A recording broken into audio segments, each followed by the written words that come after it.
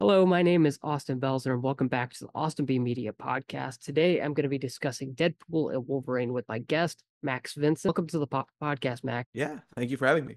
Yeah, it's it's it's been a long time uh, coming. Uh, what three weeks now? We've we've uh, Yeah, scheduled and rescheduled, and for those yeah. who don't know, I was sick. I was sick too. I had COVID, so Oh, that, that's probably worse than what I had. It was just Yeah. like uh, sinus stuff. But yeah, this has been three weeks in the making. And we also wanted to record after D- Deadpool had been out. Deadpool and Wolverine had been out for a while. So people, because we are going to talk about spoilers um, for the movie. And you'll have a spoiler warning for those who haven't seen it yet. If you're like waiting for it to come out on Disney Plus, I know that's been a big question. I'll, I'll answer that question up front. That's not coming till October or November, guys. You, you, you gotta wait on that. Uh, There's no way it's coming next month. But all that put aside, yeah, I'd love the, I'd love to hear from you, Max, uh, about, um, you know, introduce yourself, tell people about who, who are listening or watching, uh, because I do put out uh, both audio and video, um, about yourself and your work. sure. Well, I've been writing professionally about movies since 2020, Same. and uh, I guess we're all locked down in our homes and uh, try to find a career. I guess in this industry, I had just lost my job uh, in March 2020, and so it wasn't a very good uh, place that I was at. Uh, I would say with the pandemic when it began, but uh, I started writing about movies and I finished also I, I was doing a degree in film studies at university was moved online i finished that online then i finished my, my video game studies degree at university of montreal as well school uh, in person resumed in person and virtual like it was like half and half in 2021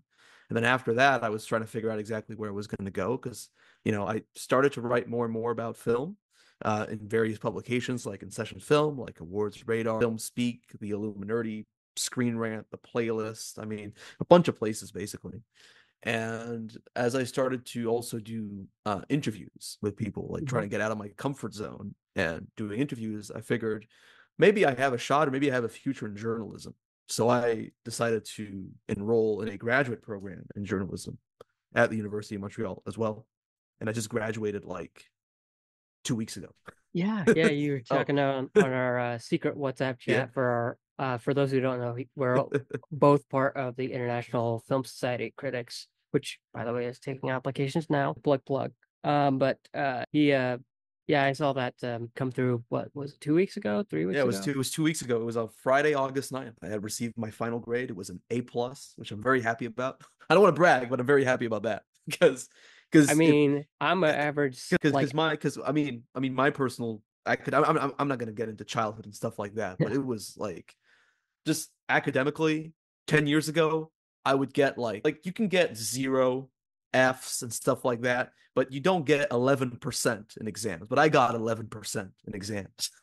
so now now you know I was uh I guess I turned my life around and uh, I, I I cared more and more about school and now I you know finished not only you know uh, three university programs but uh, with a very high GPA which I'm very happy about and now I have to figure out you know the next part of my life but it's it's all, it's all good I'll figure it out eventually but uh, yeah it just it, it- it's it's crazy how it just kind of because of the accessibility that we had during COVID like everything was virtual that Mhm. my career in film criticisms started to take off in, in ways that I just did not expect at all. Uh, um, and if I didn't say uh, already, congratulations. But yeah, it, it was an interesting thing, and maybe one day somebody will make a documentary about it. But there was a lot of access uh, in the film criticism space during 2020. For those brief uh, reminder who didn't know, um, like I had access to like Mulan, uh, the 2020 version from Disney, um, which was insane at the time, given I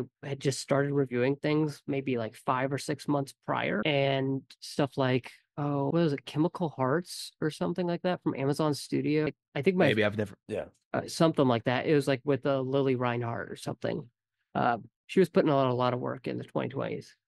I, I say like we're not in the 2020s still, but yeah, like Broken Hearts Gallery stuff like that was just like access was off the off the charts. Yeah, like I almost got um, Black Widow, which was insane to me at the time because, again, six months into reviewing things, I was getting screeners that I I still can't believe I got. So yeah, it, yeah, and, and that's how it started for a lot of people. That's how it started. Like, okay, like we finally have an opening, and build the contacts from there.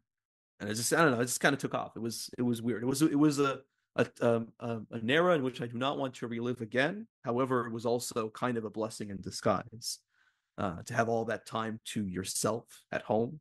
Yeah, and uh, I guess figure out where you want to go once everything started to open up again. So, you didn't have to travel like four, three or four hours to a screen. Yeah. It could just click a link or email somebody and say, "Hey, I would like to see this, please," and thank you. Big corporate entity, please. Um, and nine times out of ten, you'd get access um, because it was such a desperate thing. And I think um, this is probably the point where I want to highlight, um, not to give get too off track on like the film criticism industry industry as a whole, but I do think it is important for me to note in my first episode back in months um, that I have noticed a lot of people quit um, and or have to like go to a quote, quote unquote real job over these past few months. Uh, Aaron White um, is one that comes to mind. There's stuff in the games journalism industry. Uh, recently, Game Informer closed down because well, I think mostly that was GameStop's greed, but that's a topic for another day. But yeah, there's so many places in journalists um, who even have Patreons that are um, having to close their doors, so to speak.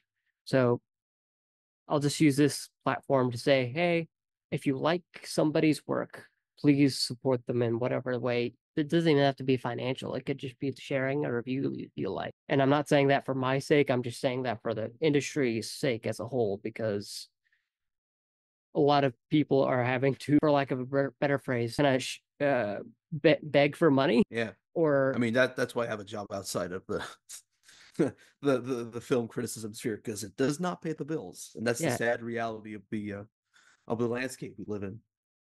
Yeah, it so I don't say that for my benefit, although patreon.com slash media. But um, I just say that for the industry as a whole because I've that's something very concerning I've been seeing in the last five or six months. And I'm writing an ebook, plug plug, I guess. I'm not trying to make this about me, but I'm writing a book about how to get people started on um we're doing what I do. So um, hopefully whenever that comes out, I'm writing an update on it. Um, here on my Patreon pretty soon.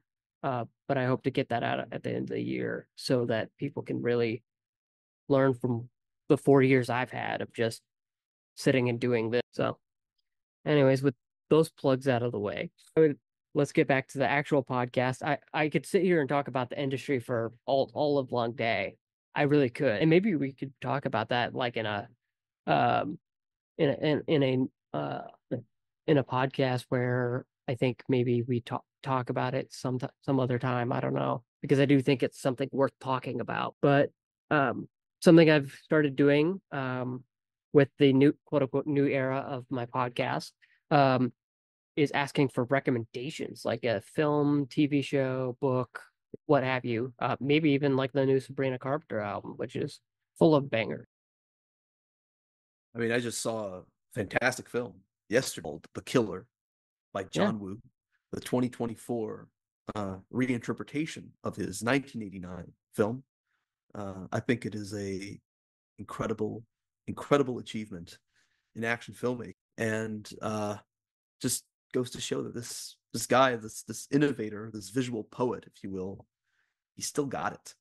It it received middling reviews, but um, I, I, I vibe a lot with uh, how John Woo shoots choreographed action and how he lets the actors' faces and um, you know micro expressions speak louder than words. And I was just taken aback by how beautifully poetic and um, surprisingly more spiritually charged than the original was, because the original film is a pretty grim, bleak movie that really cruelly punishes all of its protagonists, whereas the remake is more hopeful and uh, makes us believe a little bit in miracles. And I find I find this movie to be pretty miraculous that uh, John Woo is still showing people how to, you know, shoot, choreograph, edit, uh, action uh, in a way that is always very exhilarating to watch, even with the limitations of it being a Peacock original, which is um, which means it will never get a physical release. Just like, fittingly enough, the original does not have a proper uh, physical or streaming release as well. That was weird because I haven't seen the original, which may make it not make sense that I asked for a screener. Uh, and did get one. I've just been really busy writing my Inside Out 2 review, which is a phenomenal film. It, it had no right being that good. But yeah, I'm uh, that's on my screener list of things to watch. But yeah, I, I I'm I'm hoping it's really good. Um even if I haven't seen even not seeing uh, the 1989 original. Although I I really do want to see the 1989 original. It's just like not anywhere really uh not readily available is what I mean. Yeah, it's on the Internet Archive, so Ooh, plug okay. plug. Okay. We're all plugging things today. But um but yeah, I well I again I have to check that out, out because I'm reviewing it, but um but I I feel like I'd re, uh, I'd be checking that out regardless because you say John Woo and I'm there. You don't even have to finish the sentence. He's the man. He's the man. He's the goat. He's the goat. Yeah, no, what is no it? one touches him. No one touches him. He's a, he's he, he's revolutionized this this sphere, and he keeps doing it. He keeps he he keeps finding new ways of just you know shooting action and and and and delivering a profoundly cathartic experience. And I I, I love his movies. I've I don't think I don't really like. There's one movie that I, of his that I don't like, and it's Mission Impossible Two. But yeah, I don't like that- Mission Impossible 2 either. but um as as far as most of his movies are concerned i i, I like most of them I, I i vibe with them a lot and i think he's a, he's a he's a fantastic uh, fantastic filmmaker I- I mean, as long as he just you know keeps paying the Dove budget, you know, he's just gotta uh paying that budget. So, and I'm in. Like, if there's not a Dove in a John Woo movie, that it's not a John Woo movie. i mean silent night does not have any doves and so they come back they make their grand return in this movie I honestly forgot he directed that. Like for some reason in my mind, crosses uh paths with the David Harbour Santa movie uh that came out a few which years is ago. which is called violent night Yeah, it, those wires get crossed for me, and I just forget one of them exists at any moment. Um, it's like, oh yeah, there was a Joel Kinnaman uh Santa movie directed by John Woo. Like, it, was real weird there for a few years of just like violent Santa movies, and we're getting one this year, uh, with uh Red One, yeah but, yeah yeah which i don't want to i don't want to talk about that movie it looks it looks awful yeah, it looks like a tax write-off in progress. But, um, but yeah, with that said, let's uh get into talking about Deadpool Wolverine. And heads up, um, I do have a review out uh there. That will be the final plug of the podcast before the outro. I promise. Just check it out if if you want to. It's a long read. Sorry about it. So first things first, let's talk a, a bit about our our respective histories with the X-Men and uh Deadpool and Wolverine movies because I kind of consider each of them their own three separate franchises. Like you've got X-Men, which has Wolverine in it, but the Wolverine like sub franchise is a wholly different thing. And so is Deadpool almost. Like Deadpool's almost like slapstick action buddy comedy and Wolverine's like the last Ronin on steroids um, especially when you get to the Wolverine and Logan. Not so much X Men Origins Wolverine, but the less we talk about that, the better. Uh, um, but yeah, I just love to hear um your history with the X Men movies as a whole. Deadpool, Wolverine. yeah i mean i i'm i'm a big fan of the most of the x-men movies not all of them like x-men origins wolverine is just just awful and there's, no, there's nothing else that can be said it's just it's just terrible i mean it's it's kind of weird how this one introduced deadpool um in film and it just completely did everything that it should not do when it comes to introducing deadpool in film. Sewing his mouth and then just completely desecrating the character like that. It was just it was just terrible but it was also the the only time in which deadpool and wolverine actually teamed up. And so this movie acts as a i guess uh, i guess as a revision of you know them actually teaming up you know on screen but yeah i i i would say my favorite x-men movie is um x2 X Men United. I've always always loved that movie, and I always um, I love the the opening uh, scene in the White House. And, it, it, was I think the best live action treatment of the X Men on screen. But it's gone through a lot of you know a lot of permutation. Like there are some movies that are really good, and some movies that are just really really really terrible. It's a fairly inconsistent franchise, and so when the news were announced that you know Disney were buying Fox obviously, well, I don't really like studio mergers, but one of the positives uh, of this whole deal is that you know X Men is now finally going to be owned by Marvel Studios, and they're going to be able to do their own thing with the characters. And I think personally that X Men '97, which is the animated show on Disney Plus that premiered this year, is probably the best adaptation we've ever gotten of X Men on screen. It's unbelievable how it just gets everything right about not only the characters, redeeming characters that were poorly treated on screen, like Cyclops, and also gets these uh, social messages uh, very right. You know, it's politically charged, and it's a very it, it, it's it's funny how it reflects the society we live in today more so than the movies did. The movies sort of briefly explored the parallels between you know being a mutant and uh, people that are ostracized in society, whereas the, show X Men '97 really explores that head on.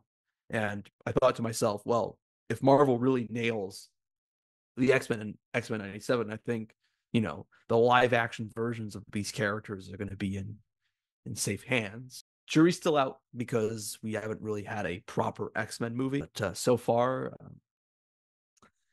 I'm not I'm not uh I'm not I'm not vibing the their live action uh treatments of the characters so far. It, it, it it's uh and we'll talk about this a little bit later when we get to initial reactions of uh Deadpool and Wolverine.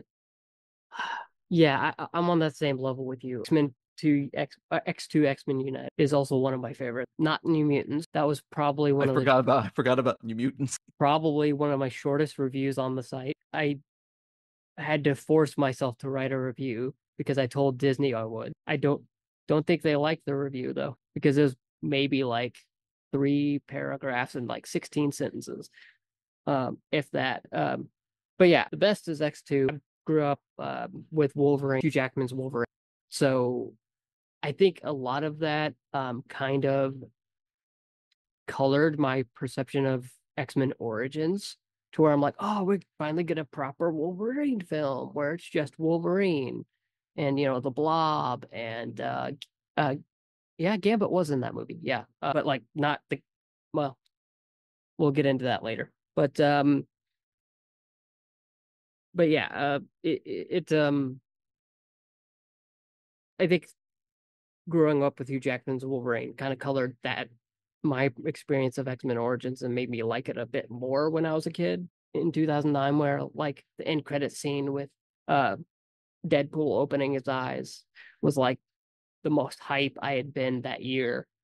Granted, Re- Transformers: Revenge of the Fallen wasn't good, so it was kind of an off year for franchise movies. But uh, anyways, um, but yeah, I I've always loved the X Men movies. Uh, I don't think there's really a bad one except for Apocalypse, the New Mutant, and the original cut of Days of Future Past. Oh, you mean the Rogue Cut?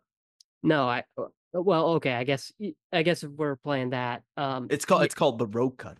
Yeah, so I don't like the theatrical cut of uh, Days of Future Past. The only version of it I watch is the Rogue Cut because it makes so much more sense when you've seen the Rogue Cut of like just just generally the whole movie makes a lot more sense at least to me at the time. I'm i haven't seen it in a while but um but yeah um as for deadpool it's probably my favorite of the x-men sub franchises um because um i think they the team paul wernick and Rhett Reese the writing team really latched onto the fact that yes this is a superhero movie but it's also about Wade Wilson as a person, um, more than it is about Deadpool as a super. So, like the first Deadpool, I've probably seen that in theaters five or six times, and Deadpool two was okay. I didn't really dig the whole X Force stuff, you know. Um,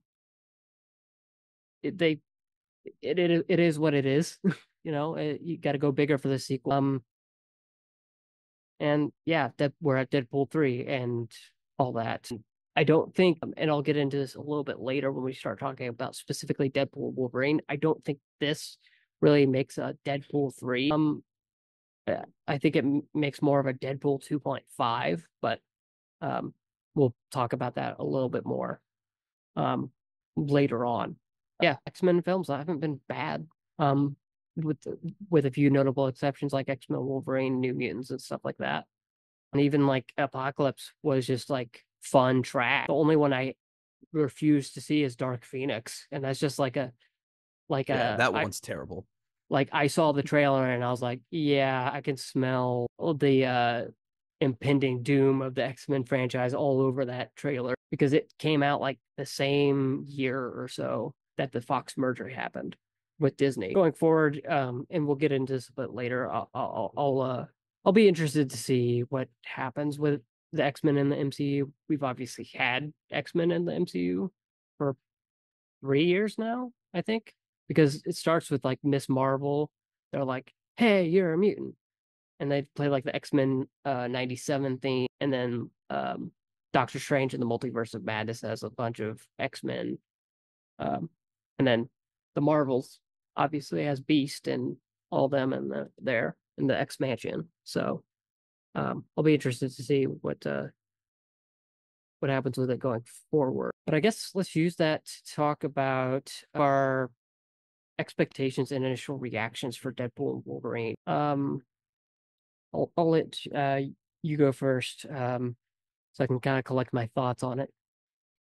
All right. Well, I will say when they announced the movie, you know, Deadpool was going to be in the MCU, makes sense. Uh, I was excited. I, I I enjoyed the first two Deadpool movies. I didn't think the second one was uh, better as uh, better than the first one.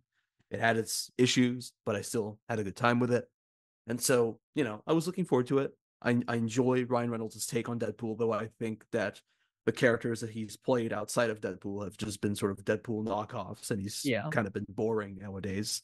But that's a story for another time. And when they announced that Hugh Jackman was back as Wolverine, I wasn't mad about it. Some a lot of people were because they're like, "Oh, he's destroying the legacy of Logan and stuff like that." I'm like, "Yeah, but you know, it's it's fine. They've always wanted to do a team up between Deadpool and Wolverine. It'll make sense in the movie.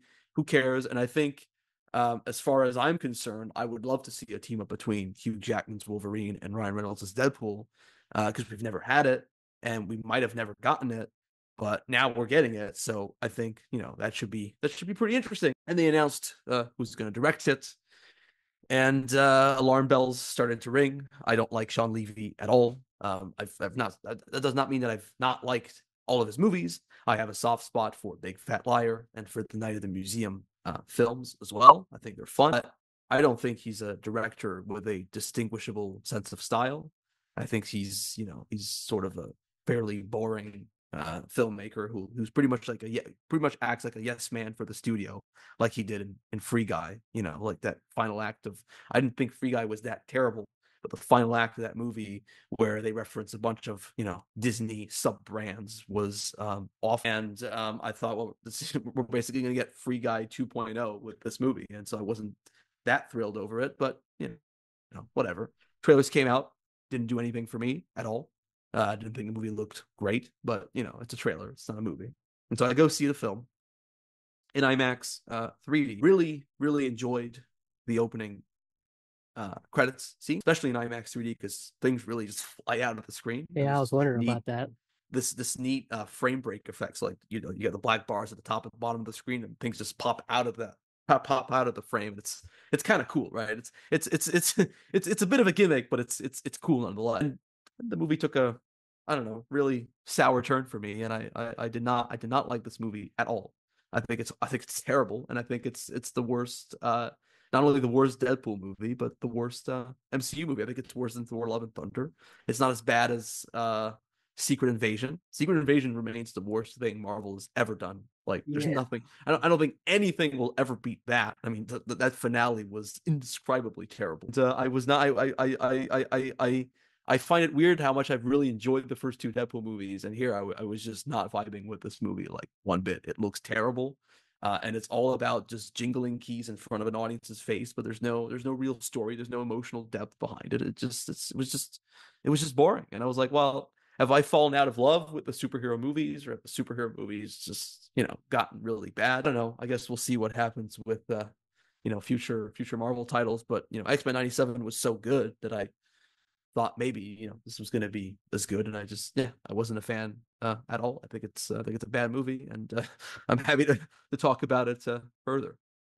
So this will make an interesting discussion then, because if you see my review, you know I rate this movie really highly, not because of I, I, I think because of how it made me feel for for starters. I, I guess we'll start with expectations. It's like my expectations going into this movie were pretty low.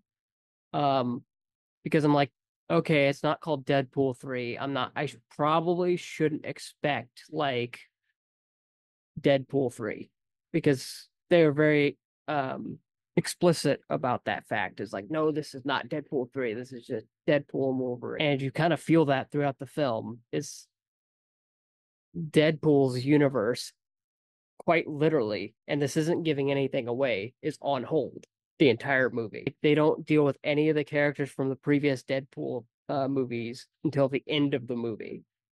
And it's like, okay, so this is more about um, things I won't spoil. Um, I'm trying to do- dodge and weave spoiler territory here. But um, I'll just say it's like the celebration of legacy. Um, really is is the best I can do without spoiling certain elements of it. To the uh, elements of uh, Shawn Levy, um, I think I knew kind of what to expect when he was announced. Announced like I saw Free Guy, and yeah, it, and all the featurettes for Deadpool, Wolverine, and I'm like, yeah, I kind of know.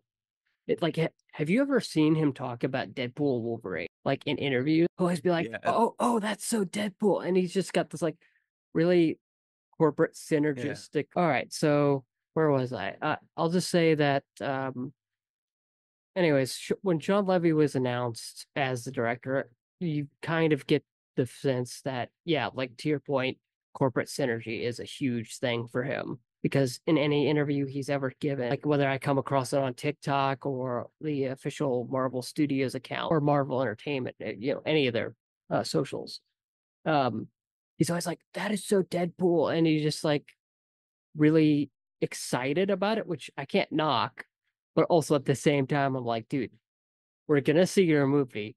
You've got billions of box office. You're good you don't have to like be so excited about every project. It it, it kind of is alarming.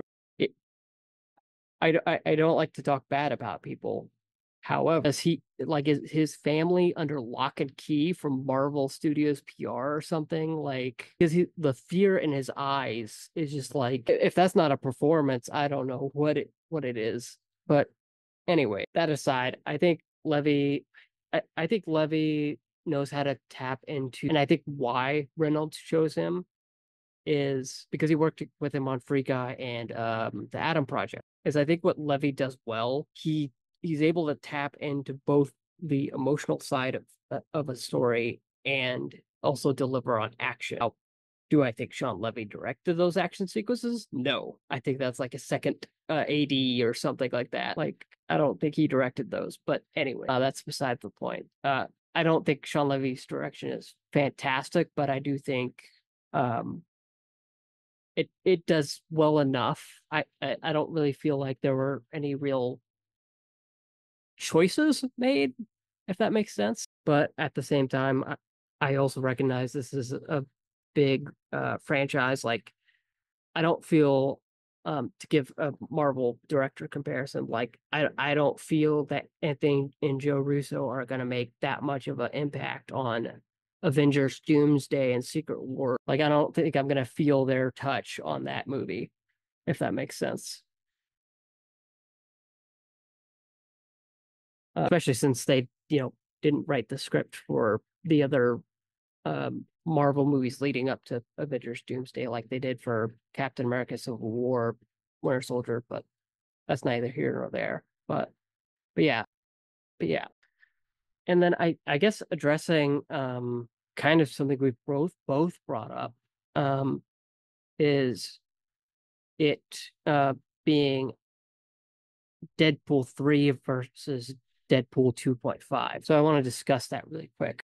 I don't think Deadpool and Wolverine feels very natural of a step for after Deadpool 2. Like it just feels like again, I keep referring to it as a Deadpool 2.5, which I'm fine with. You know, this is the first step into the MCU. You've kind of got to celebrate um who Deadpool is and you know, before you get into the nitty gritty, like, oh, who's Storm in this universe? Who's Beast in this universe? Who? Why am I thinking of more? I think it's maybe because you mentioned X Men '97, which is on my watch list, by the way.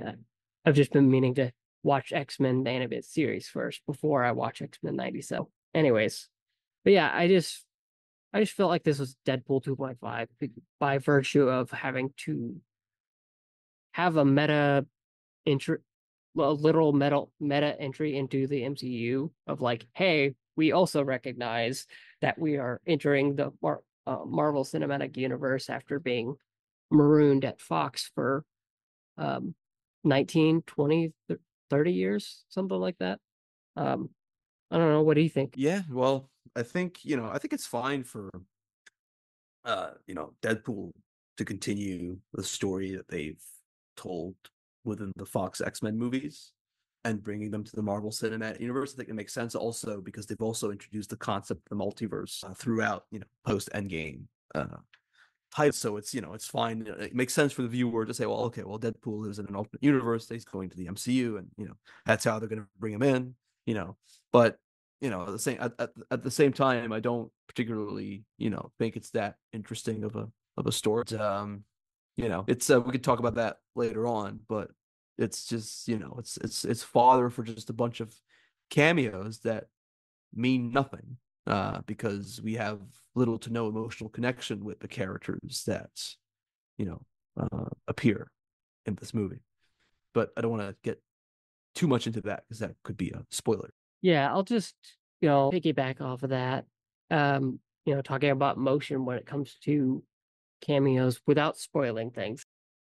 I I think it goes back to the idea of the whole movie's theme of legacy and what legacy means about and I, they do get kind of um on the nose on about it sometimes like there are specific lines where it's like where it's explicitly stated to the audience like leg- legacy is a line i heard probably 20 or 30 times i'm like okay i get it but uh, in reference to, to the cameos, which I won't spoil, although the cast and crew had no problem spoiling them within like 24 hours, actually less than that. But um, but I did feel like they're impactful, but but I I guess more so than in Doctor Strange, where instead of Doctor Strange 2, where that was like, hey, here are these guys for like five minutes and they're gone. It's like you get an entire act with those cameos. I'll just say that. Um, so that's why I guess they made made more of an impact to me. Um, but but I'm probably getting way too far into spoiler territory, so I'm just gonna hit the reverse button on that, and we'll get out of spoiler territory. Um, but yeah, to I I don't think it's natural um at all. And to to your um thing about like that you could um have a Deadpool 3 in this universe. I actually don't disagree. I, I think you do have there could have been a Deadpool 3 where like here was my dream Deadpool 3. Like you do it a lot like you do Deadpool and Wolverine, right? But like all the characters come along with Deadpool on the ride, like on the multiverse hopping journey. So that way it's a lot more impactful when the uh, stakes get raised and also i don't know maybe follow some, of the comic book journeys of these characters like um vanessa is a superhero in the deadpool comics and yet nothing is done with her here even though they were trying to do st- um adapt that story of her way back in deadpool 2 and it's almost why she didn't come back for deadpool 2 uh, because they wouldn't adapt the comic book story. Um of Vanessa. But yeah, I I I do think there could have been room for Deadpool three uh, in this Deadpool and Wolverine, uh, especially when we're talking about legacy and you know, it could have just been like, hey, this is the final film in a trilogy, and you could have you know celebrated that fact of like, hey, at the end of this film, you could have had something where it's like, here's to a new chapter uh, of Deadpool and the MCU. Um, but we'll talk a little bit more about that later. Um, but getting to the titular characters, how did you feel about Hugh Jackman and uh and Ryan Reynolds? I don't know why I blanked out on his name for a second, but uh, how did you feel about their performances in the film together? Did they work together um, after spending nearly 10 years in X-Men Origins territory, uh, in, in purgatory there, or uh, did it not work as well for you? Well, the fundamental problem I have with this movie is that, you know, the Wolverine that audiences grew up with, you know, his story ended uh, pretty tragically in Logan, you know, and so they've developed an emotional connection with them, you know, for, you know, sort of about, I think, lot, for, I think the first X Men came out in 2000, you know, for 17 years because Logan came out in 2017. And that neatly wraps up the story. And the Wolverine that we have in Deadpool and Wolverine is not that Wolverine. It's a Wolverine from another yeah. universe. So there is no, there is zero, zero emotional connection that we have with this Wolverine because it's a completely different iteration of the character that's just there for you know Marvel Studios and I guess Hugh Jackman also to wear the yellow suit because he never wore the yellow suit in the X Men movies. You know they teased it in the extended cut of the Wolverine at the end, the yellow suit, but he never wore it. And so this, you know, in this movie, he wears it. He wears the mask, he wears the yellow suit, and that's that's Wolverine is there. He doesn't really do much too, right? Even with um with with Deadpool, he's kind of sidelined for most of the film and Deadpool is pretty much just the center of attention. And even when we get these big moments uh, with Wolverine, they fall flat because the movie looks awful. It's a horrendously designed film. There is no sense of visual style. The action, I mean, it's rated. This is even more mind boggling because this is Marvel's first R rated movie.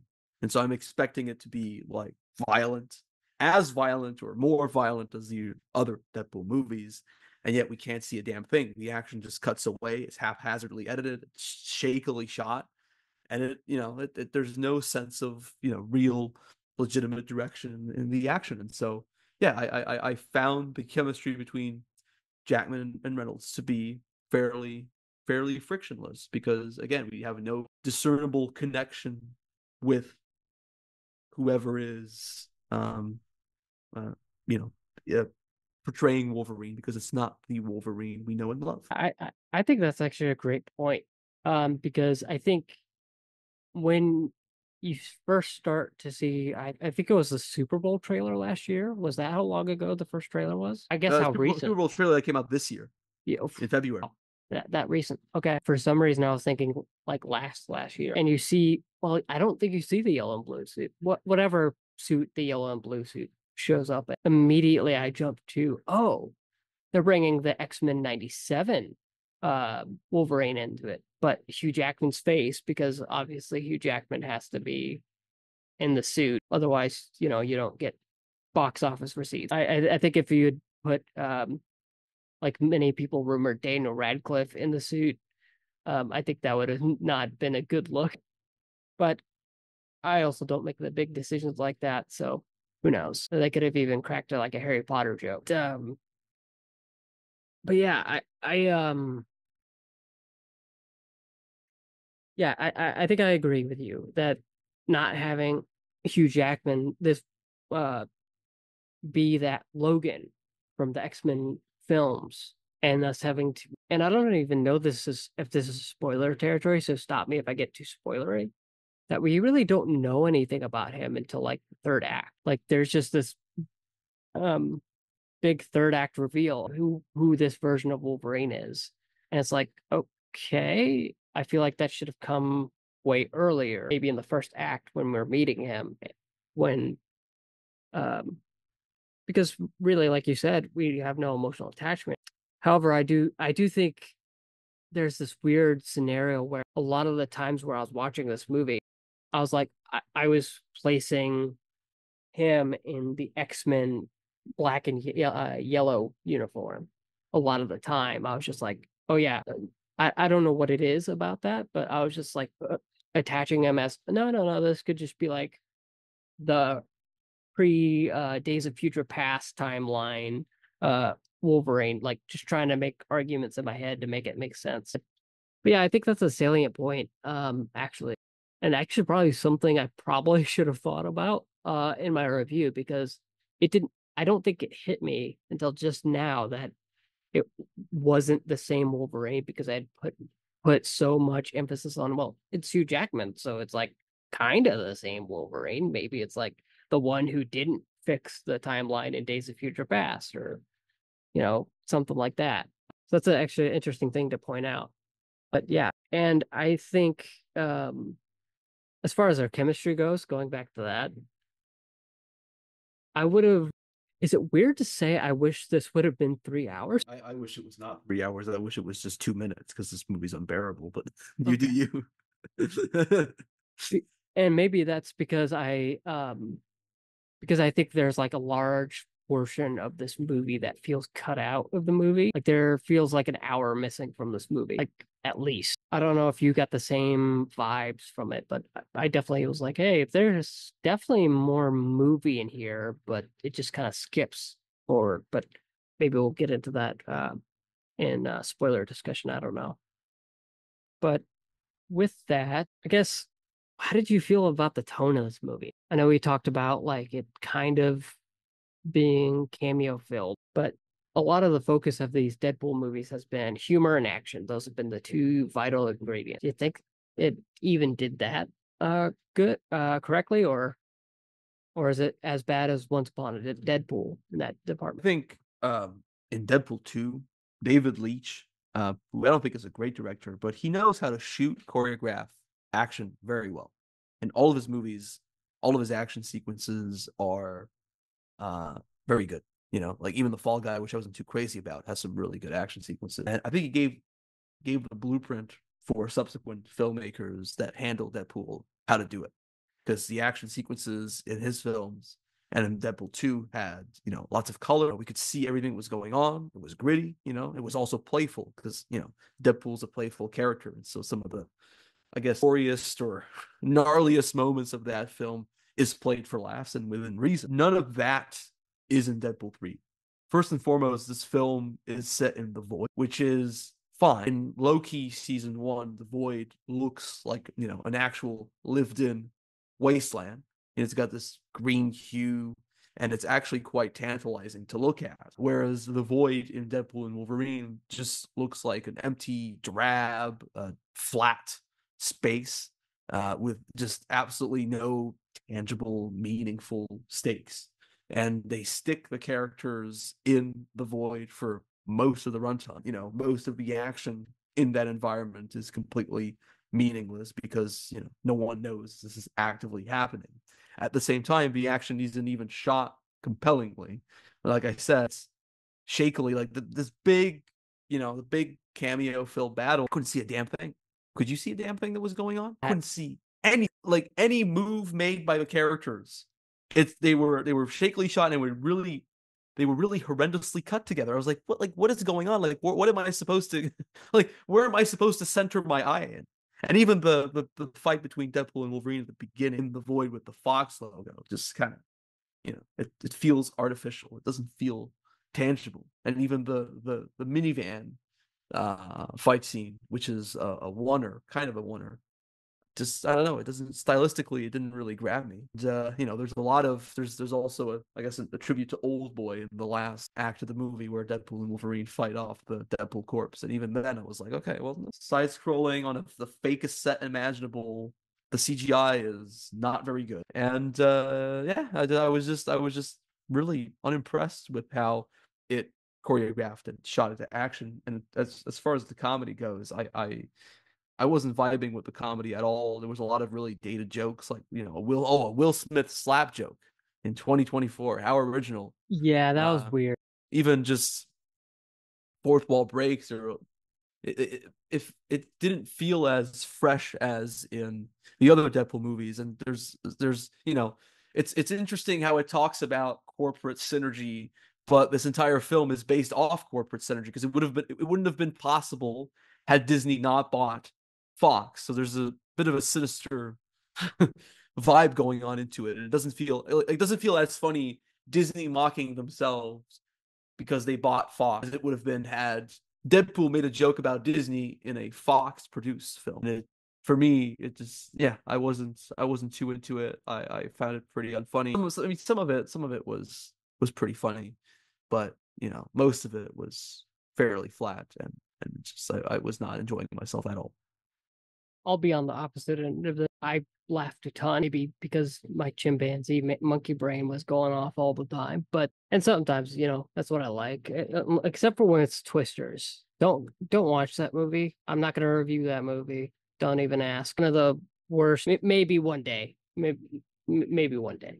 But anyway, uh, yeah, I, I don't think the hu- I think the humor did okay. Um, but talking about the uh specifically the merger jokes, I think the humor was at its best when it wasn't being self-referential. Um, I think the funniest joke out of the movie is when um, the first wall break uh, that's happened, and I don't think this is really a spoiler because it's not even like a plot thing where Deadpool starts talking to the camera uh, and saying he's going to go to Disney World or Disneyland, wh- whichever one, and and grabs like a mic and and tells Fox to suck it.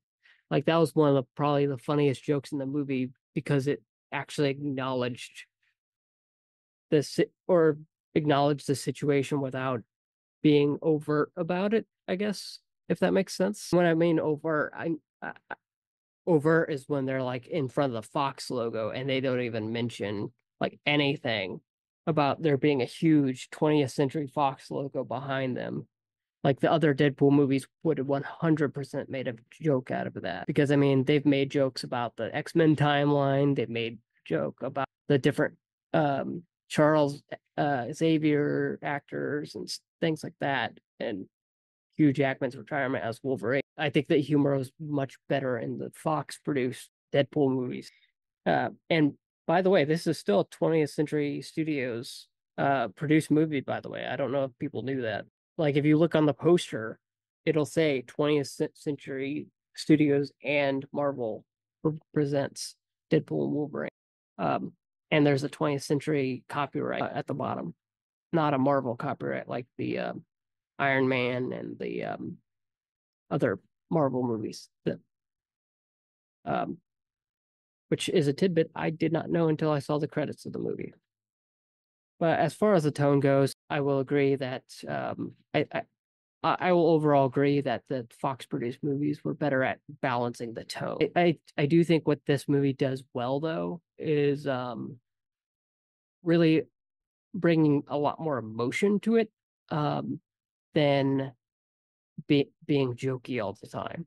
Deadpool 2 was very jokey, and perhaps to its detriment. Like there's the famous clip of Brad Pitt showing up for 0.5 seconds uh, in Deadpool 2. And I'm like, okay, that's a funny joke the first time you see it, but what happens the fifth time, the sixth? Um, and as somebody who's seen Deadpool 2 six times, it gets kind of old. And maybe, I don't know, maybe Deadpool and Wolverine gets old on the sixth time. But um, so I guess overall I agree, but also disagree at the same time. Um, as complex as that may sound, but but yeah, and then I guess since we're already comparing it to the other films, how do you think it stacks up against these other films like X Men and or Wolverine's movies or the MCU as a whole? Well, I, I think I think uh, Deadpool one and two are way better than this. They at least had you know they, they at least nailed the tone, the character, they at least gave some really good action sequences and they weren't too reliant on cameos. Like the Brad Pitt cameo was fun because it was unexpected. Now, like no, like the Vanisher. Oh, it's the Vanisher. He's invisible, and then oh, he gets electrocuted. It's Brad Pitt's face. That's weird. You know, like no one expected it, and it was fun. But in in in the case of this movie, it's you know, it's just it's just driven by cameos. It's just driven by how many things that you can point and clap at the screen because you can recognize it's it not necessarily because you have an emotional connection to it and we'll get to that once once there are spoil it you know it's just I, I I found it, you know, to be more egregious than the other Deadpool movies, which were which were fun. You know, they were fun movies. They're I, th- I think Ryan, Ryan Reynolds deserved to treat Deadpool like he did in those movies because they did him so dirty in X Men Origins Wolverine. His performance wasn't bad. It was just how they treated the character was, you know, sacrilegious. But as far as I'm concerned, this movie's not good.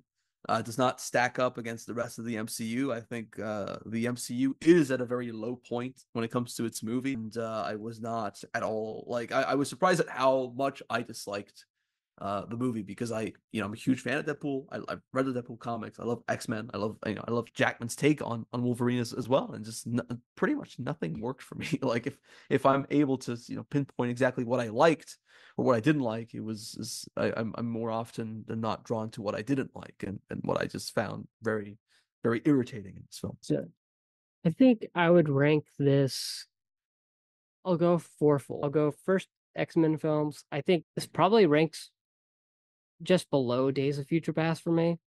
Um, that's like the bottom half of the X Men movies for me. And then for Deadpool, this is obviously the worst of of the three. Oh, okay, Once Upon a Deadpool is below because that that was just bad. This is like, hey, let's t- tell Deadpool to super duper cut, but also just pointless cash grab.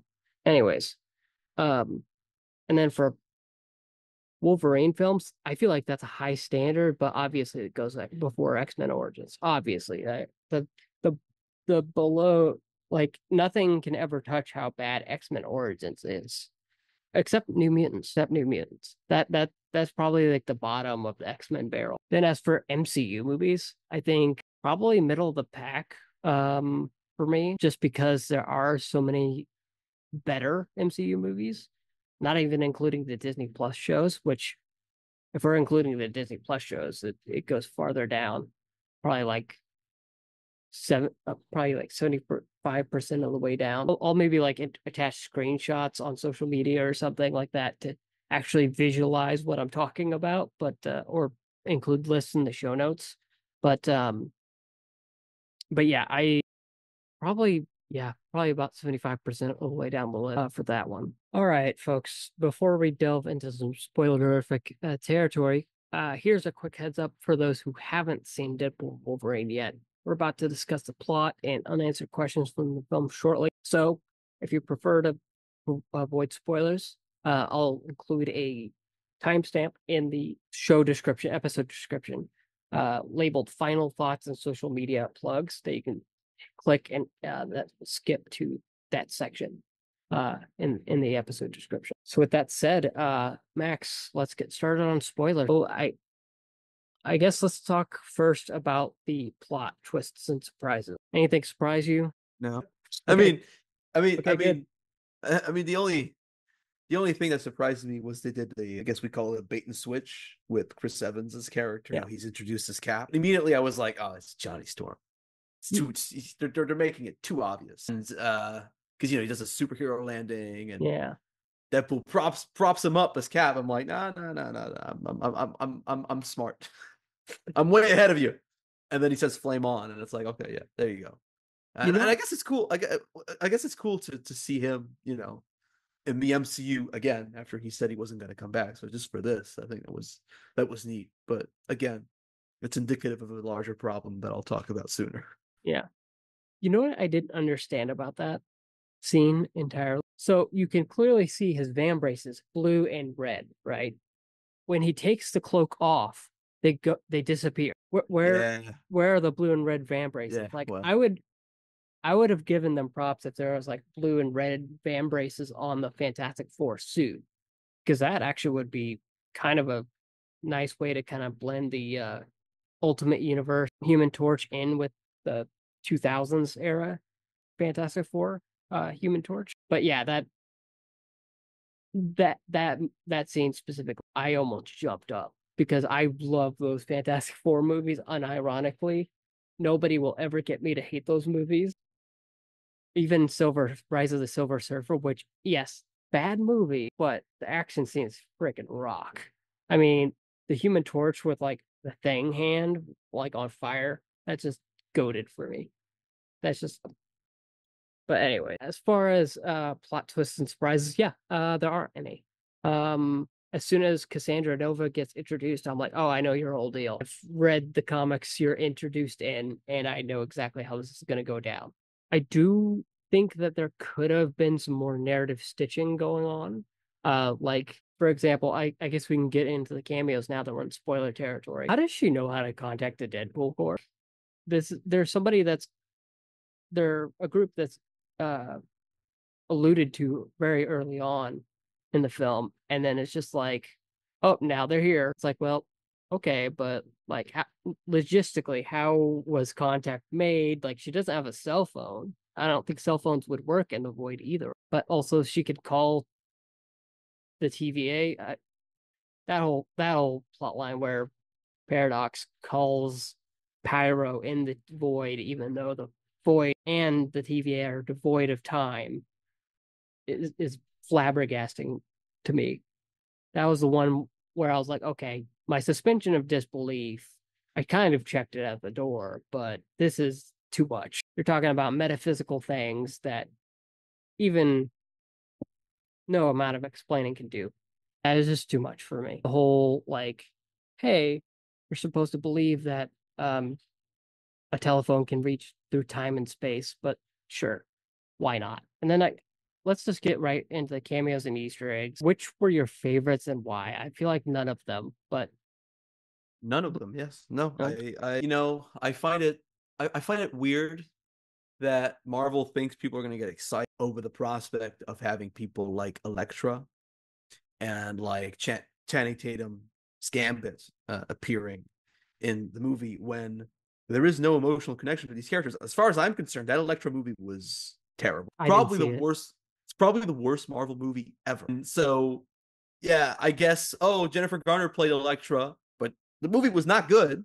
So no one ever developed an emotional connection with her. But because oh, she played Elektra, there she is.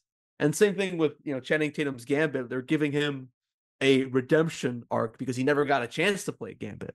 But mm-hmm. For those that weren't in the loop at the time that there was a Gambit project that was being developed. None of this makes any sense as to why he's there and why he's playing Gambit. And therefore, all the jokes that he has about, oh, I'm about to name, uh, make a name for myself here or whatever, you know, it's it's it makes sense for people that have been following the development of that movie, but it doesn't make sense for anyone else. It's like, why is he playing Gambit? Why is he making all these jokes about him not being born yet, not really knowing where he's from?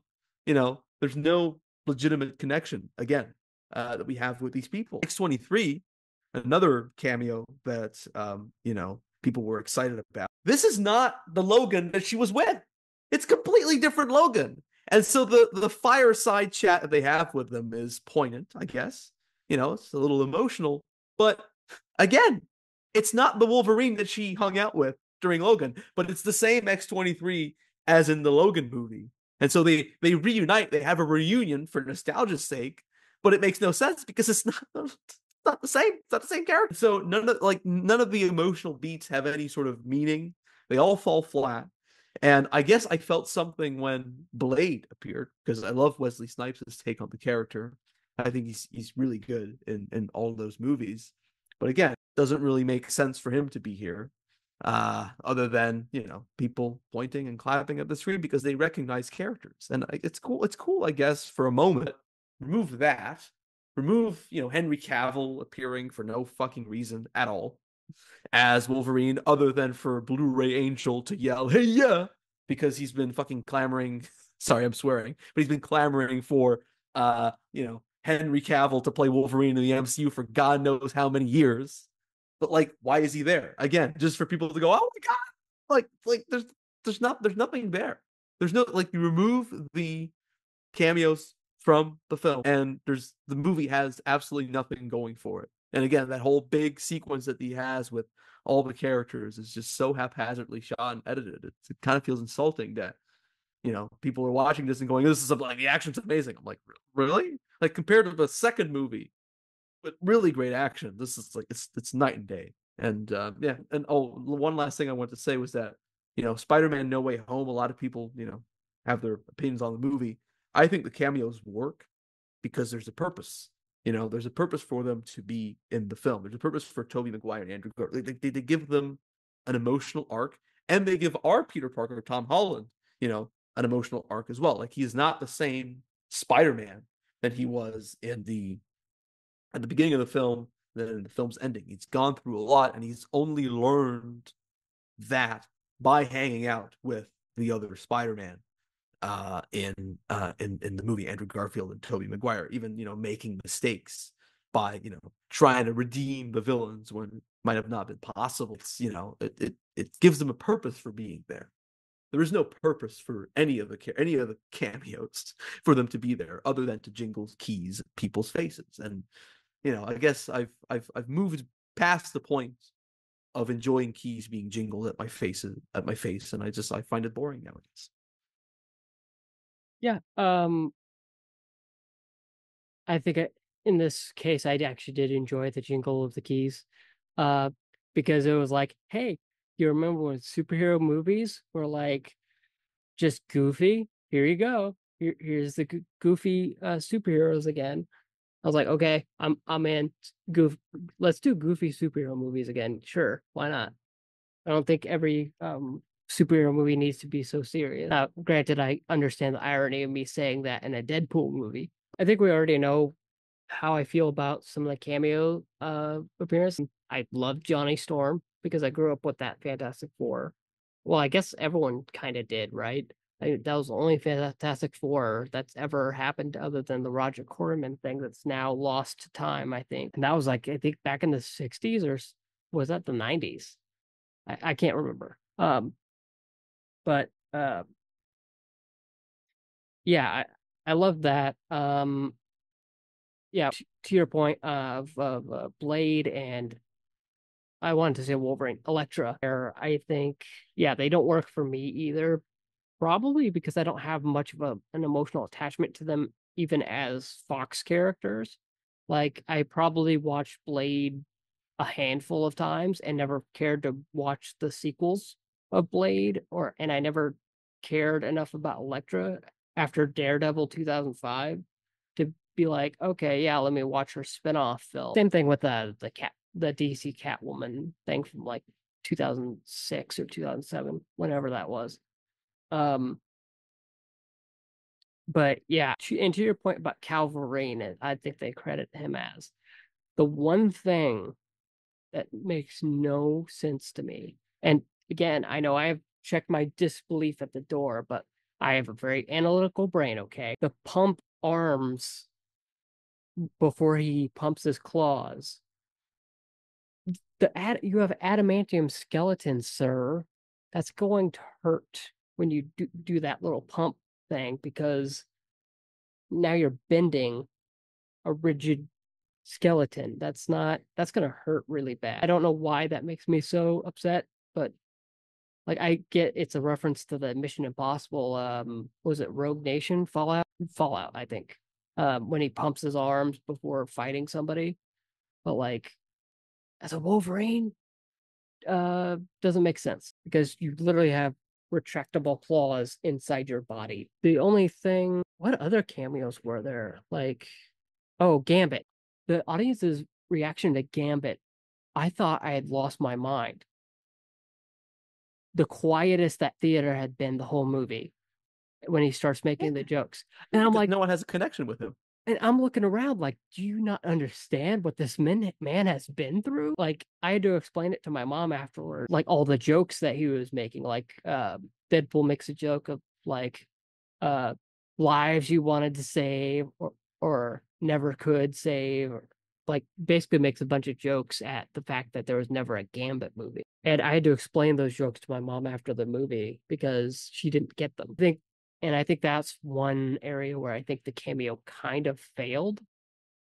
Um, because it's like, okay, well, unless you are following, like you said, if unless you are following that very specific news in like 2009 all the way till now, because uh, a reminder for listeners slash watchers, um, a Gambit movie was going to be going into production at the time of the Disney Fox merger. But then the merger happened and Fox said, no, no, no, we're pausing all projects. uh, that were going to go into production until the merger goes through. And and Marvel looked at Gambit and was like, "Do we really need a Gambit movie?" So it was a little weird of a cameo to have. As for uh cameos, I think would have made the movie better and has was um apparently going to happen at one point. I would have loved Ghost Rider in this movie. That would have made more sense to me. If we're going wacky superheroes that like never really got their ending, so to speak. Because like Ghost Rider 2 ends and it sets up this whole other thing that uh like a third movie that never happened like of a team of ghost rider and yeah it just never happened. Like that would have been mo- much more compelling to me than seeing blade who did get an ending um and would have made more sense than a daywalk when there are no vampires in this movie and there's no daredevil in this movie uh and they kind of even make a joke about it which seems more ill-timed uh now uh, because it's obviously a joke about Ben Affleck, and he now he's just going through another divorce. So a divorce joke kind of a little um a little soon for that, but granted they probably filmed this like a year ago, uh, or maybe even two. But anyways, that's beside the point. But yeah, I think in terms of cameos, I, I would have actually preferred preferred uh it to focus on the people who didn't get an ending because I think that's what the movie wants to do, right? Is here's the ending for these Fox characters that really never got a chance or um, to finish their story. Yeah, I've got I've got nothing else to add except uh, except what I said. I just yeah, I, I don't think the cameos are particularly particularly good, and and it just I don't know. I feel I, I feel I feel pretty defeated watching a movie that's just driven by cameos and has nothing else to offer beyond just you know how many people can you recognize in a film and it's it kind of falls flat on its face and you know i had a similar feeling with um not because of cameos or anything uh with it's something i'm dealing with right now with writing my inside out 2 review. I'm like okay do people really want to read my take on inside out 2 you know? Like how many and uh how many sequels can we do? Like we get 19 sequels next year. That's ridiculous to me. But but yeah i i, I understand that aspect of it entirely. And even outside of the franchise fatigue, fatigue aspect of it and i think we've already talked about this but i'll go ahead and uh do some quick questions real quick because I think we've already answered this. I want to talk about Deadpool and Wolverine specifically as two characters and if they if the movie really even changed your perspective on the two characters and their respective I mean, I don't think so. I think Deadpool pretty much stays the same. I just I found the jokes this time around to be really tired and irritating compared to the first and second movie. And as far as Wolverine is concerned, I think Jackman's portrayal of the character is great. You know, he's always been great in in all of the movies that he's been in. But um this Wolverine, like I said, doesn't have any emotional attachment with the audience because it's just it's just this random Wolverine that destroyed his universe. But you know, it's not the Wolverine. It's not the Logan. It's not you know not the, the uh, X Man. It's not the X Men. It's just a Wolverine. And it, you know, when you when you look at the movie that way, I just think it just doesn't really you know they're only using Wolverine to score some cheap nostalgia points and not necessarily create an actual story with with depth and you know with with reverence for the character. It's just hey, Hugh Jackman's wearing the suit. You've always wanted to see him wear the suit. Here he is. He's wearing the suit. You know, get excited.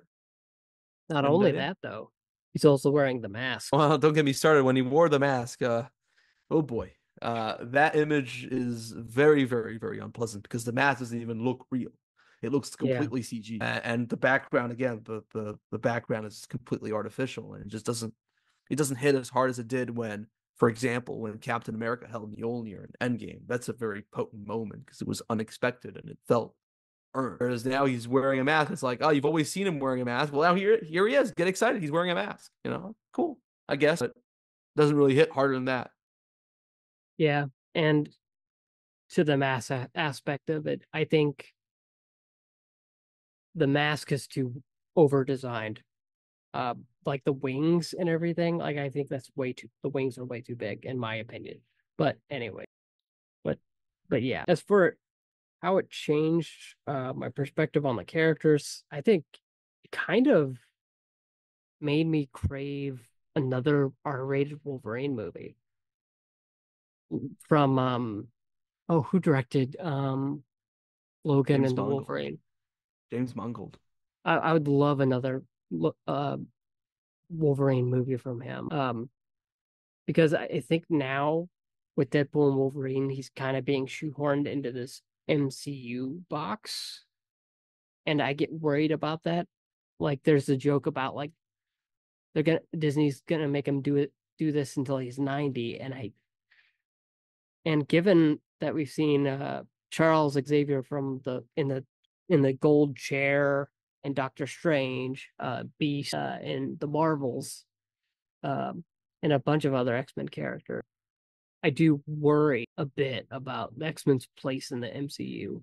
That it's just to serve the animated series fans, the Twitter users, or I'm sorry, X users now that are like screaming about something not being lore accurate, like Blu ray Angel, who I've blocked on every single uh, social uh, media uh. known to man. I got a jump scare a few weeks ago where he popped up on my TikTok and I immediately had to hit the don't show me videos from this creator option.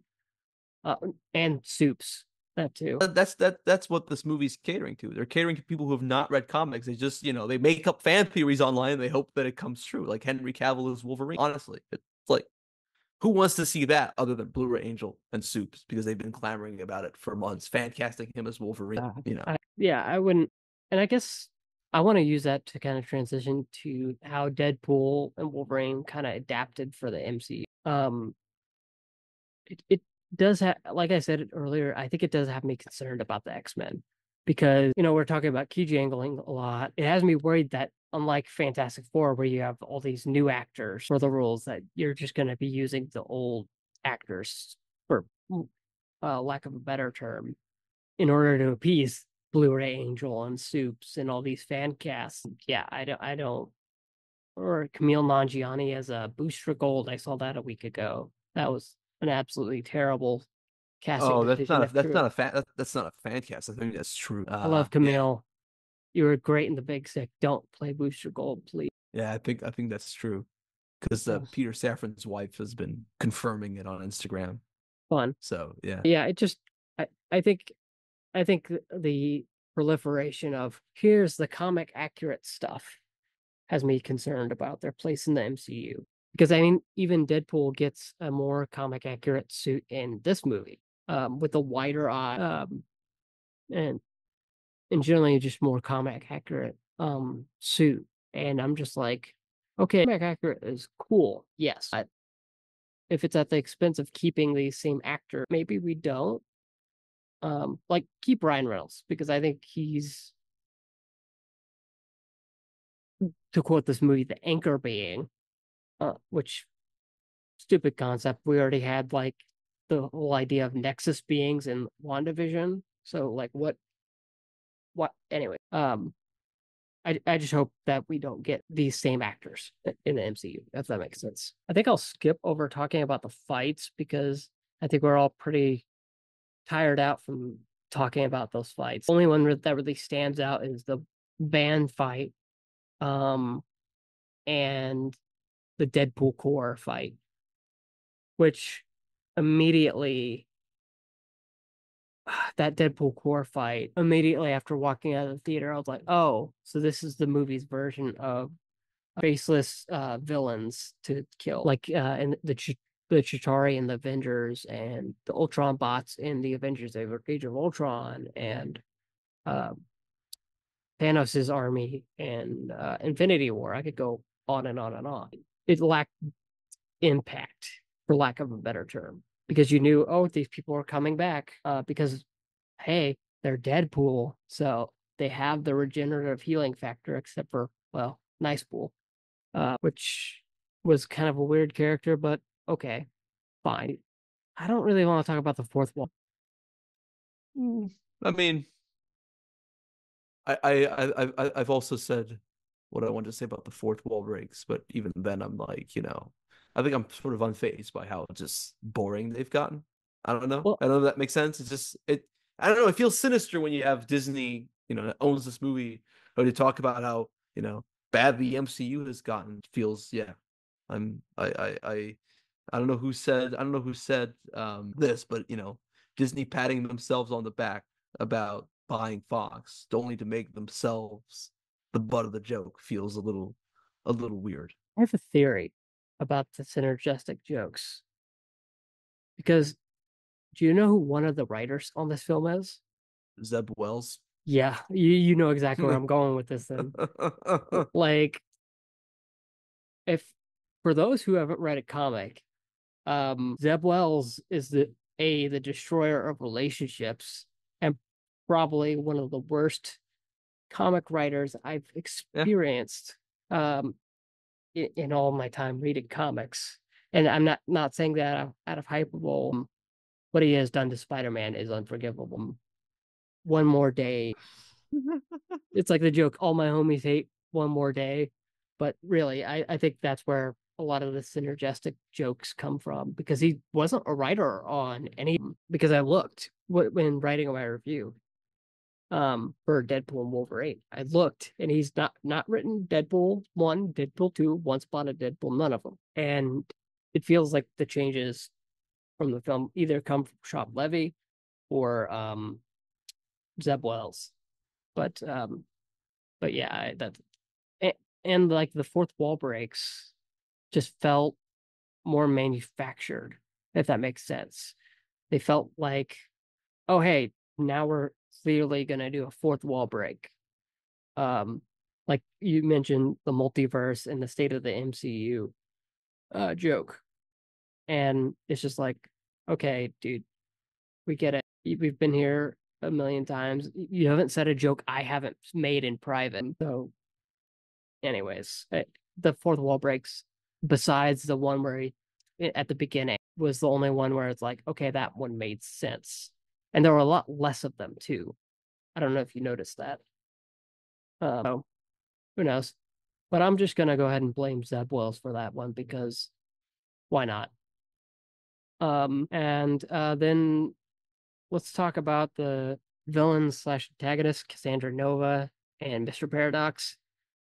Um, other than being a baby girl, Mr. Paradox uh is a waste of time in this movie. Um, like I like I legitimately thought they were gonna do something with him where it's gonna be like Loki was gonna come off the world tree, spoiler for Loki season two. Um and um just like I don't know, or like Owen Wilson, somebody from Loki was gonna be like, Hey, I'm actually your boss and you need to stop it. Uh or something. Something that would have made sense with this character.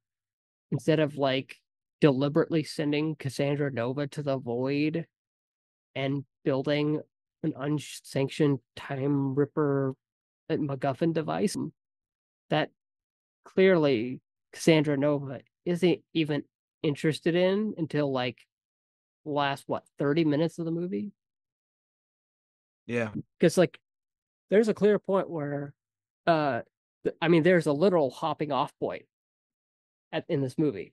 They hop off into a doctor strange-esque portal. And the movie could have just left it there and have cassandra nova just exit the movie at that point and made mr paradox the actual villain. But then it says no no no. We paid too much of emma corrin's salary to let her go. We need her for one more scene. So so yeah, uh, that that's my thoughts. Do you have any thoughts, Thad? Uh, I think Cassandra Nova is a is a completely wasted villain. Um, I I don't. I think Emma Corrin's a pretty pretty good actor, but they have nothing to do with uh, in this movie. Just you know, it's a villain because it feels like Marvel's in desperate need of a villain to have an emotional anchor. But again, you know, the villain is in the void. The void is completely meaningless when it comes to the overarching uh, MCU and the motivations that the character has are fairly paper thin and don't really, I guess, you know, they're there, they exist, but they're completely unimportant. And as far as Mr. Paradox goes, I do like Matthew Macfadyen. I think he's a good actor and he's pretty good in this movie. He's having fun. He seems to have fun. Yeah. but he's a fodder. He's a fodder for exposition. All he does is deliver exposition after exposition. And once he's done delivering exposition, you know, they posit him as a bad guy, and uh, it falls uh, it falls flat uh, once again. Yeah, and and I think that's the decision where I think the decision to make him set in the TVA was a big mistake because a lot of people watch Loki. So they have those expectations of like, oh, he works for the TVA. So let me see um Ke Quan. Let me see uh all these other characters that I know from the Loki show. And then it's just like, no, no, we're not gonna do that. And in fact, he's so rogue that he, he's like in the basement or something. I don't know. It, it it was very weird. It was very weird to have the TVA in this movie at all, actually, other than to serve the purpose of getting him to the void. Um, but in that uh sense, talking about the void, I want to flip back to the Johnny Storm cameo, um, because it has something to do with the end credit scene. What do you think of it? Eh, it's fine. Yeah. Probably the most harmless point of the movie for me. Uh, there's nothing really, you know, uh, that you know, it's not that important. It's funny, I guess. You know, Chris Evans is having fun, which is which is always great. But uh, I don't know. You know, it's it's there. It exists. There's an end credit scene in a in a in a Marvel movie. It's it's it's part of the course, but it's you know, it's probably one of their weakest. Yeah, which is weird because I, like I don't know if you were looking at- all, any of the coverage uh Ryan Reynolds was doing for this movie. I think he said explicitly like, "Hey, we're not going to be doing any of those typical Marvel stuff at the end of our credits." And it's like, "But you did do that." So, were you just lying woefully? Uh, it was weird. It, that that whole part was weird to me, other than the whole X twenty three cameo. Um, so, but um, I, I think a better end credit scene is actually lying inside of that end credit scene. Have you heard this theory? Uh, no. So Gambit is on one of the screens in the TVA, like showing Oh yeah. him Oh, yeah, alone. yeah, I've heard. I think that would have made a better end credit scene of it. Uh, Gambit coming back to his universe or something, and just like nobody was there, and he's like, "I'm alone again" or something, like just a quick joke or something. Would have been better, I guess, than just having Chris Evans do the same thing he did in Knives Out, where he just has this long monologue about how he hates this one uh, group of people. Um, so um, but other than that, um, I guess the only way to go is uh, forward. Um, where do you think the respective universe, X Men, uh, Deadpool, the MCU, um, go from here? I'm really excited for X Men '97 season two. Uh, that's what I'm looking forward to the most. Uh, I think this is going to be fantastic. I can't wait. Uh, we'll see. We'll see what happens with the live action uh, iteration of the characters, but uh, I think we'll. You know, this will not be the last that we're going to see of Deadpool. Uh, and I think uh, and Wolverine. I think Hugh Jackman is coming back for Avengers Doomsday or Avengers Secret Wars. Yeah, And, there's even like uh, a comic cover in the movie. yeah, yeah, and we'll see. We'll we'll see what happens there. But uh, I don't want to make too too outlandish theories. We'll we'll see. We'll see how the story how the story plays out. But uh, X Men '97 season two is going to be great. yeah I, I i hope to catch up with x-men 97 by then uh but um i think i've kind of already said my piece on where i think the universes are going to go. I think they're going to go even further into the x-men animated series where we just keep getting uh who'd be next? Storm would be next. So maybe we get alexandra shipp from the x-men movies like the prequel movies um and then uh the um not Mysterio, Nightcrawler from X Men Dark Phoenix, and then we'll just get like all the people from the other X Men movies as the new X Men. Um, but this time comic accurate suits uh, because that seems to be the if and of this uh, adaptation of the uh, MCU's X Men. Um, as for where Deadpool goes, um, I hope he goes in the direction Guardians of the Galaxy did, where he's so devoid of the MCU that he's a, it's almost his own franchise. So, uh, with that said, um, that concludes our uh, discussion on Deadpool and Wolverine. Uh, if you, the audience member, uh, have anything you'd like to discuss about the film, uh, I'd love to hear your thoughts on my Bluesky, Facebook, Instagram, Threads. Uh, I'm there under the username Austin B Media. I have my own very own Discord, which I have in the episode description and the YouTube description. And obviously, there's the Patreon uh, community chat, uh, which I'll talk about a bit later when I plug my Patreon. Uh, I'm also on Letterboxd at as Austin B Media, uh, not Austin B Media. I'm also on Letterboxd as Austin B Movie. Um, and thank you, Maxance, for joining me in discussing Deadpool Wolverine. Uh, where can people follow you on social media? Well, uh, all my social media is Max from Quebec, so you can just find me anywhere on all social media with the same handle. Uh, yeah, I am so jealous because, I like, mean, I mean, it's it's it's the you know you have to it has to be the same, otherwise people get confused. I know it's just like I'm glad I'm not on Twitter anymore. In fact, I made my tweets protected last uh, weekend um, because I'm not really on there active anymore. Um, on there, it was Austin Media underscore. I had to add an underscore at the end because somebody had at, at Austin B Media. But I might change my Letterboxd username to Austin B Media. That actually makes more sense. Um, I don't know. Um, but yeah, I'll make sure to include all those links in the description.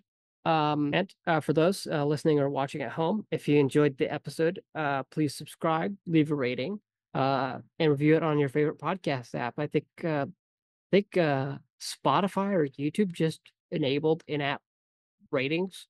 Uh, don't or no, it was Pocket Casts that just enabled in-app ratings.